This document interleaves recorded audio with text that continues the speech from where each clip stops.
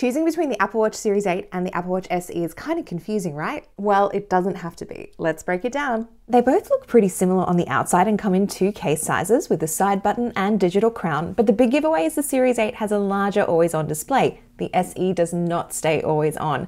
And look at those bezels on the SE with the same watch face. But health and fitness tracking is pretty much the same. The 8 has a newer heart rate sensor, ECG, blood oxygen, and temperature sensor that the SE doesn't, but maybe you don't need those. They both track the same workouts, sleep, steps, and of course have fall detection and car crash detection too. They both have Apple Pay, get notifications from your phone, have pretty much the same apps, and the battery lasts about the same length of time with regular use. That's a maximum of one and a half days. But don't forget the Series 8 charges faster. Of course, the Series 8 is more expensive than the SE, so that also might sway your decision, but I think that they are so similar, and the SE is such good value for money that it's really the best choice for most people.